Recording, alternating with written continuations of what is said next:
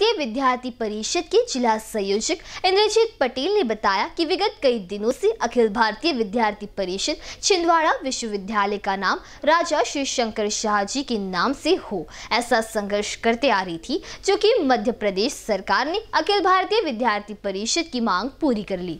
विद्यार्थी परिषद की मांग पूरी होने पर अखिल भारतीय विद्यार्थी परिषद विश्वविद्यालय में जाकर बड़े ही धूमधाम से आतिशबाजी करके कुलपति को मिठाई खिलाई तथा साथ ही जश्न मनाया। छिंदवाड़ा विश्वविद्यालय के समस्त स्टाफ इसमें प्रमुख रूप से जिला संयोजक इंद्रजीत पटेल, जिला संगठन मंत्री देवेंद्र पनिका, नगर सह मंत्री कुणाल शर्मा, अनिमेश देशवाड़े, अनिरुद्ध देशवाड़े, रुपेश पटेल, आनंद उइके, यशवंत उइके, सर्वज्ञ नेमा, सक्षम सरसवार, देवांश चौरसिया, नैतिक ठाकुर, योगेश सोरे आकाश पटेल, नमन संदेल, ललित शाहू, देवू दीक्षित, संस्कृति तिवारी, निशा धुर्वे, जानवी कुमरी राम विकी, राम दुर्वे एवं समस्त छात्र छात्राएँ कार्यकर्ता उपस्थित थे।